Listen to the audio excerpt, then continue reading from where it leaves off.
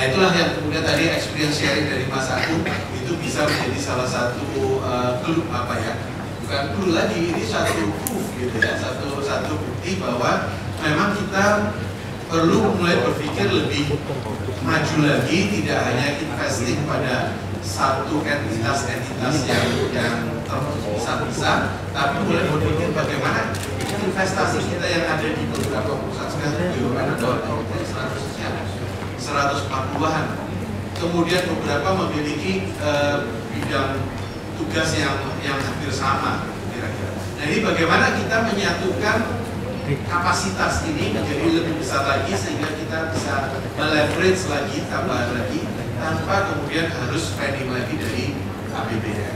Yang ada di APBN kita bisa gunakan. Banyak kepentingan ataupun kebutuhan sosial yang masih kita perlu bangun di situ. Kita masih harus memikirkan bagaimana pemerataan, kita harus memikirkan bagaimana membangun di daerah pinggiran yang secara komersial tidak mungkin ataupun tidak bisa dilakukan secara mudah oleh BUMN.